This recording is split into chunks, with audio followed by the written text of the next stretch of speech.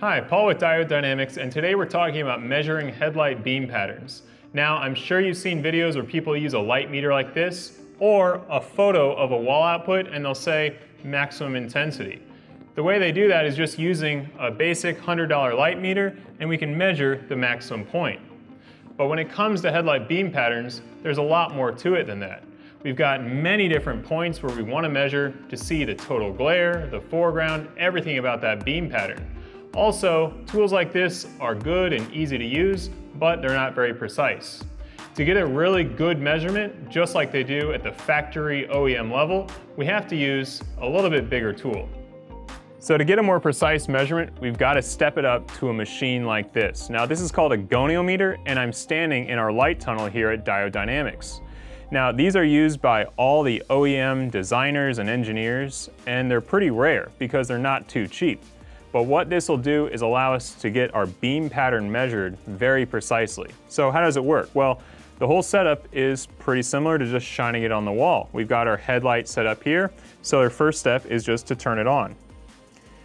Now from here, as I said, I'm in our light tunnel. All the walls in here are a dark fabric, and that's gonna absorb any stray light.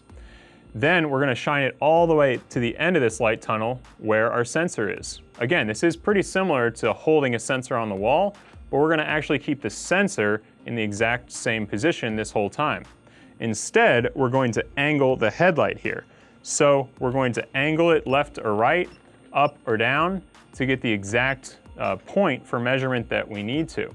And since this is computer controlled, we can scan across left to right over and over and over to build and uh, basically measure the entire beam pattern. That would take a long time if you manually wrote down the measurement at every you know, centimeter on the wall.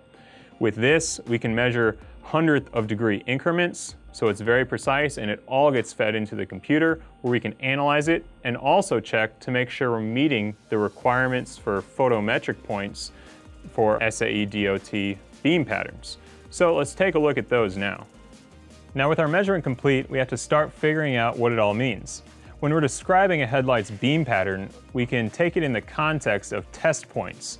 One to the left, one up, one straight down the center, and a lot of people will just test one test point, the maximum value.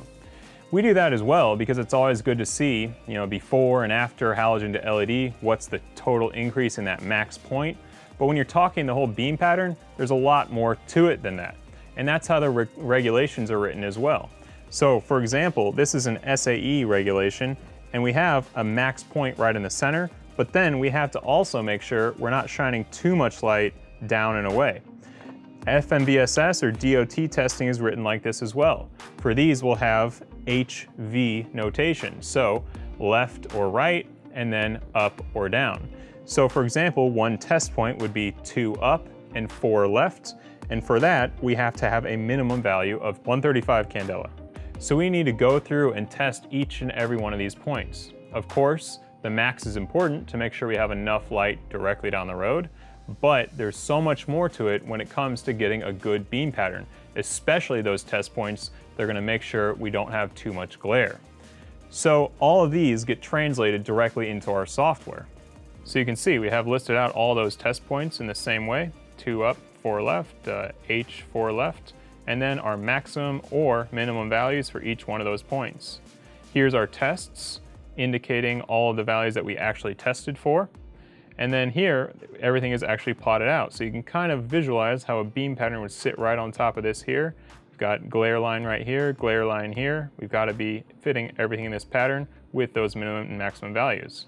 Once we're sure that everything's aimed and uh, shining properly to meet the requirements, we can then look at the full beam pattern as well. So here's where we scanned across and had uh, thousands of points taken for these measurements. So we can get an isocandela chart showing from zero all the way up to 75,000 candela with a color scale here where our output is. You can see on this headlamp, like on all headlamps, we've got our hotspot just a little bit to the right and down, and then a nice cutoff line. We can also determine how high it is off the ground and then get this bird's eye view.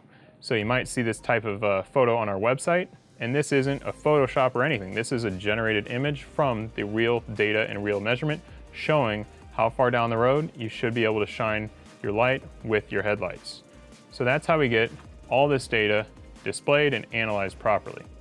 As you can see, when it comes to measuring headlight beam patterns, you can definitely take a single point on the wall, but if you want to measure the entire beam pattern with a lot of accuracy, you have to use a whole setup like this. At Diode Dynamics, we're fortunate enough to do this so that we can compare halogen and LED output patterns and make sure that we're adding output without adding any extra glare. You can find more information at diodedynamics.com or find our products at a dealer near you. Thanks for watching.